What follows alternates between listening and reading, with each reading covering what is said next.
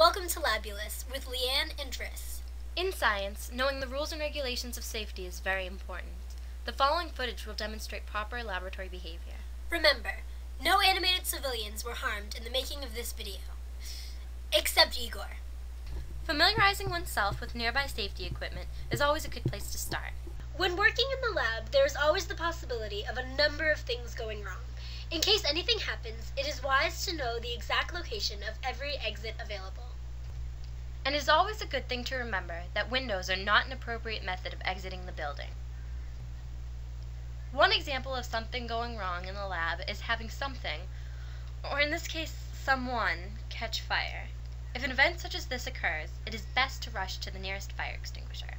Another method of extinguishing a fire is by using the fire blanket to cover the victim. A final method to extinguish a fire is using the shower. Pull the cord above the shower head to activate the water flow.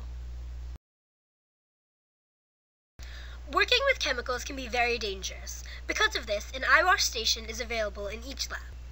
If at any time you or your partner accidentally get a chemical in your eyes, rush to the eye wash station and make sure your eyes are thoroughly rinsed.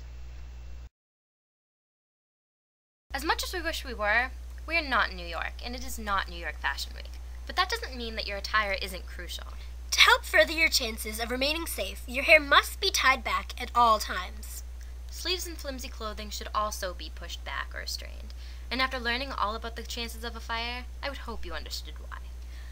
And kids, put away last year's sunglasses and take out the newest fashion must have to hit the laboratory benches across the nation. Goggles. Clear, clean, eye protecting goggles. And now for the main feature of this film laboratory rules and regulations. Starting with something numerous teachers have told you since you started going to school always read directions. As simple as this sounds, many students neglect this rule or think themselves above. Yet, if people were to follow this rule, the number of accidents that occur each year would decrease significantly. Another important rule is to listen to your teacher, especially when experiments concern lighting the Bunsen burner. Or mixing chemicals. In fact, this rule is just as important to follow as reading the directions. The next rule we will discuss landed on the territory line that separated this section from our next section, entitled Safety for Dummies. And that is to not eat in the lab. Think about it. How would you like a nice side of nitroglycerin with that piece of week old pizza from the cafe? Or sulfuric acid with that piece of gum. Believe it or not, it is possible for the chemicals you're working with to seep into your food. Furthering the chances of something bad happening.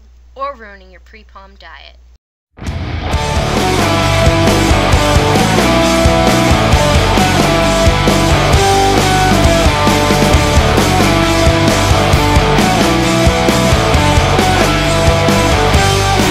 I confess I messed up, dropping I'm sorry like you're still around.